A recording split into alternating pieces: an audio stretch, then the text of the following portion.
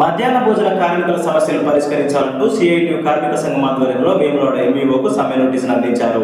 ఈ నెల ఇరవై ఎనిమిది నుంచి రాష్ట్ర వ్యాప్తంగా మధ్యాహ్న భోజన కార్మికుల సమస్యలు పరిష్కరించాలంటూ సమ్మె చేపట్టడం జరుగుతుందని సిఐటియు నాయకులు ఎగమటి ఎల్లారెడ్డి తెలిపారు. కార్యక్రమంలో సిఐటియు నాయకులు గురిజాల శ్రీధర్ తదితరులు పాల్గొన్నారు. మధ్యాహ్న భోజన కార్మికులతోటి సమ్మెలోకి వెళ్ళడం జరుగుతుంది కాబట్టి ఈరోజు జిల్లా సిఐటి ఆధ్వర్యం లోపల ఇక్కడ వేములవాడ మండల విద్యా అధికారి కార్యాలయంలో అక్కడున్న సిబ్బందికి నోటి సమ్మె నోటీస్ ఇవ్వడం జరిగింది.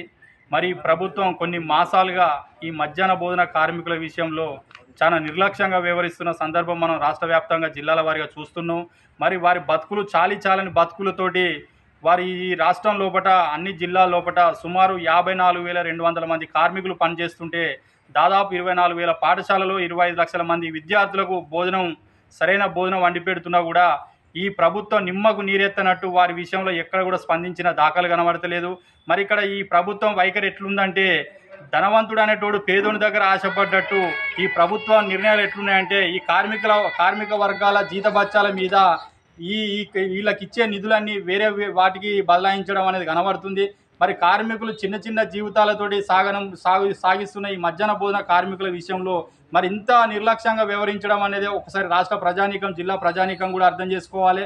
మరి తెలంగాణ రాష్ట్రం ధనిక రాష్ట్రం అని చెప్పుకుంటున్న గౌరవనీయులు ముఖ్యమంత్రి చంద్రశేఖరరావు గారు మరి మధ్యాహ్న భోజన కార్మికుల విషయంలో వారికి ప్రతి నెల జీతాలు కానీ అలవెన్స్ కానీ బడ్జెట్ కానీ ఎందుకు ఇవ్వలేకపోతుందని చెప్పి సందర్భంగా జిల్లా సిఐటి పక్షాన ఈ ప్రభుత్వాన్ని డిమాండ్ చేయడం జరుగుతుంది.